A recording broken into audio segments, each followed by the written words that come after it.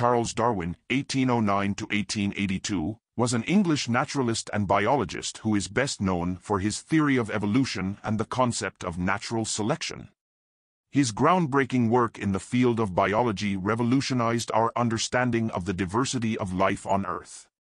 Darwin's most influential publication was his book On the Origin of Species, published in 1859.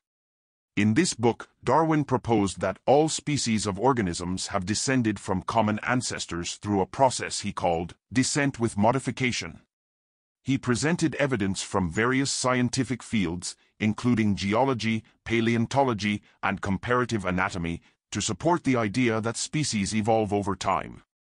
At the heart of Darwin's theory was the concept of natural selection. He argued that individuals within a population possess heritable variations, and those individuals with advantageous traits are more likely to survive and reproduce, passing on their favorable traits to future generations. Over time, this process of natural selection leads to the adaptation and diversification of species. Darwin's theory of evolution was met with both acclaim and controversy. It challenged traditional religious and scientific beliefs about the origin and diversity of life, leading to intense debates and discussions. However, his work gained widespread acceptance among the scientific community over time and became the foundation of modern biology.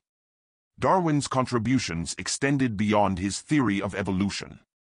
He conducted extensive research and made important observations during his voyages on HMS Beagle, which traveled to various parts of the world, including the Galapagos Islands.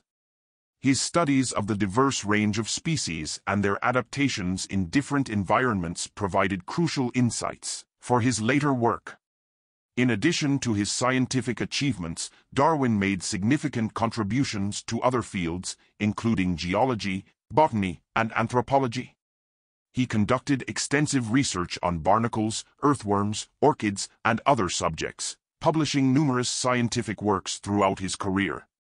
Charles Darwin's work continues to shape our understanding of the natural world.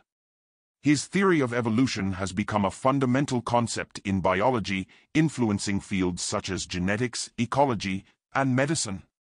Darwin's contributions to science and his exploration of the interconnectedness of life have left an enduring legacy that continues to inspire scientific inquiry and discovery to this day.